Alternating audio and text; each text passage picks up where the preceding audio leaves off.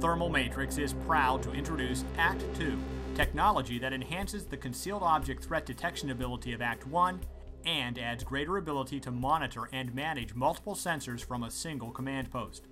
With Act 2, police can view up to four live sensors in a multitude of combinations, including quad view, split screen, and picture in a picture.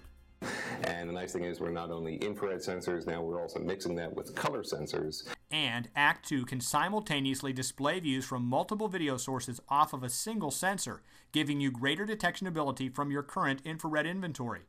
Act 2 also adds an audible alarm and automatic red box highlighting when a concealed object is revealed. Now we're using temporal uh, processing to track the person and show you exactly the guy that is the suspect. Automatic tracking combined with multiple real time views provide the extra information police need to instantly analyze a scene and take action as necessary. All this from Act 2 by Thermal Matrix.